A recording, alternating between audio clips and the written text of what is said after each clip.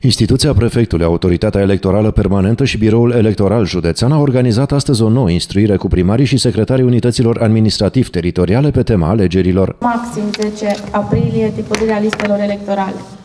După cum știți, dumneavoastră tipăriți listele electorale și vă recomand să nu stați până pe 10 aprilie să le tipăriți, pentru că în cazul în care se întâmplă ceva din punct de vedere tehnic, cu imprimanta, cu știu eu ce, să nu aveți probleme. Dacă aveți, nu știu, dacă aveți cereri pentru înscrierea pe listele electorale speciale, termenul a fost 26 martie.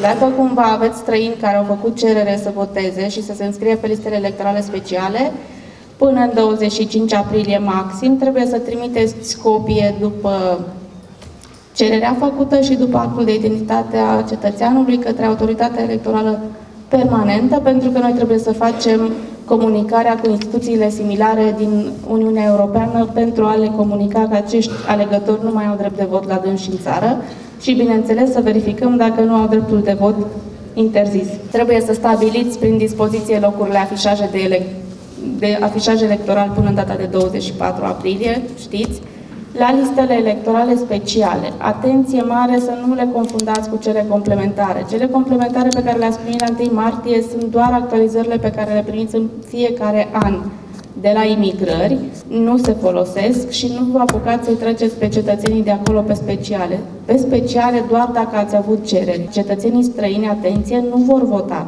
dacă nu sunt înscriși pe listele electorale speciale dacă se prezintă la vot, ei nu au dreptul să voteze decât la ei în țară. Din 25 aprilie, după cum bine știți, începe campania electorală. Scopul întâlnirii a fost de a instrui primarii cu privire la atribuțiile ce le revin pentru organizarea procesului electoral, respectiv constituirea secțiilor de votare, delimitarea secțiilor, întocmirea listelor de alegători. În primul rând am vrut încă o dată retransmis să cunoască legislația, să știe ce au de făcut, să uh, respecte programul calendaristic în așa fel încât, din punct de vedere organizatorii, să asigurăm tot ceea ce ne impune legislația legislația. Ați văzut și din partea autorității electorale permanente, de fapt, dânsi au trebuit să facă instruirea și dânsi au și făcut instruirea concretă, pentru că instituția prefectului pe undeva este un mediator acum între și un monitorizor. Pe 25 aprilie va începe campania electorală pentru alegerile europarlamentare, iar pentru cele parlamentare parțiale desfășurate la noi în județ, campania va fi doar de 15 zile.